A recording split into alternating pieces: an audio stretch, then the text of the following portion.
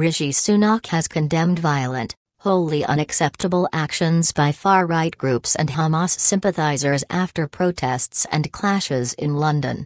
Police said 300,000 pro Palestinian protesters marched to call for a Gaza ceasefire, in demonstrations which coincided with Armistice Day. Counter protesters made up the vast majority of 126 arrests made, police said, while nine officers were injured. The Met also condemned extreme violence by right wing activists. Counter protesters, who included those from far right groups, clashed with police near London's Cenotaph and in Chinatown. Separately, the Met criticized the actions of breakaway groups behaving in an intimidating manner at the end of the pro Palestinian march, and said arrests were made after fireworks struck officers in the face.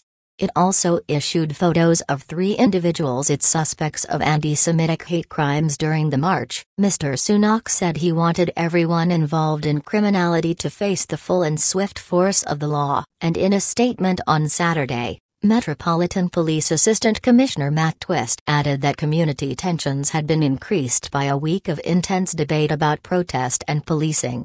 It followed remarks about the policing of protests ahead of the weekend by Home Secretary Suella Braverman. Police estimated 300,000 pro Palestinian protesters attended Saturday's rally, though organizers placed the figure at 800,000. BBC reporters at the protest said the rally appeared largely peaceful. Before from the main protest, Scuffles broke out shortly after 10 o'clock GMT as police attempted to stop a crowd of people carrying St. George's flags marching along embankment towards Whitehall where the cenotaph, the 103-year-old war memorial, is located.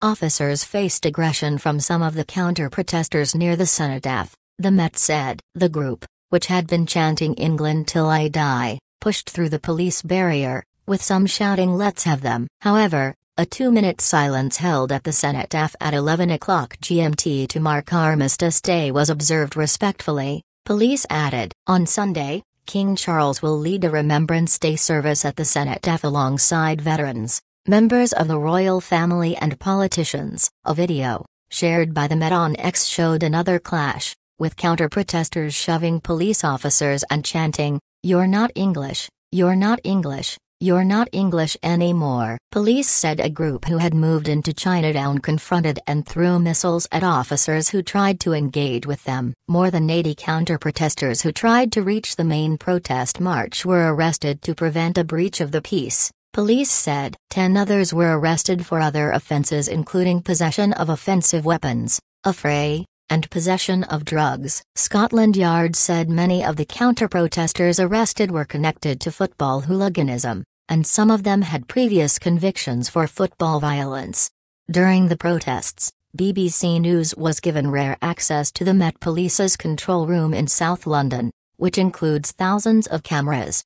One live feed from a police helicopter was powerful enough to show a man sitting in a pub window and how much he had left in his drink. On the pro Palestinian march, chants of Free Palestine and ceasefire now could be heard as crowds began marching from London's Hyde Park. At one point, the march, organized by the Palestine Solidarity Campaign, extended from the Hilton Hotel in Park Lane to the U.S. Embassy in Nine Elms, a distance of roughly 2.5 miles. Organizers believe 800,000 people attended, but police estimated 300,000. One demonstrator told BBC News, We want a ceasefire. People are suffering, children are dying under the rubble, and no one seems to care about them. He also criticized the Prime Minister for saying the timing of the march was disrespectful as it coincided with Armistice Day. The man added, it is disrespectful to allow children to die. Another protester said, I think it is the perfect day to actually do it on, because that's what armistice is.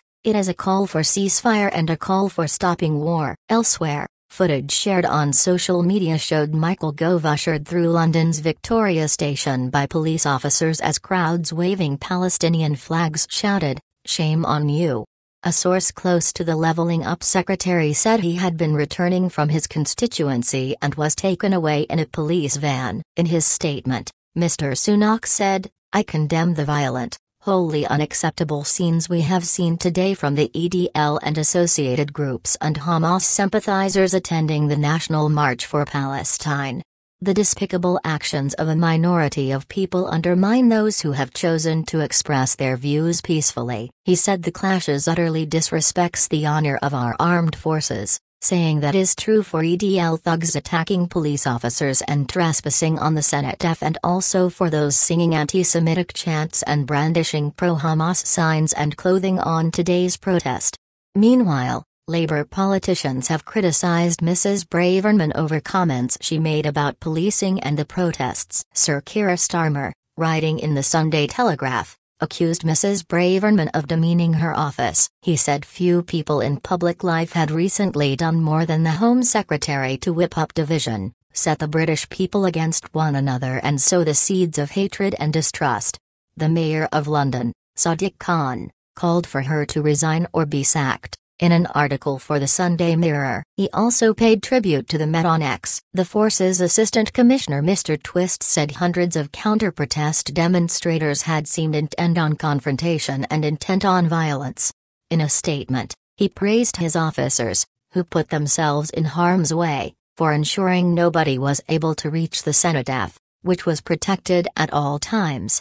The Met was also looking for three individuals at suspects of anti-Semitic hate crimes during Saturday's protest. One shows a woman carrying a placard on which the Jewish symbol, the Star of David, is shown to incorporate a swastika. Two other men are shown in photographs apparently taken during the march. No major protest is scheduled to take place on Remembrance Sunday, although the policing operation will continue with some 1,375 officers deployed amid commemoration events in the capital. The Met said it had made 188 hate crime arrests, the majority for anti Semitic offenses, since the conflict between Hamas and Israel erupted on 7 October.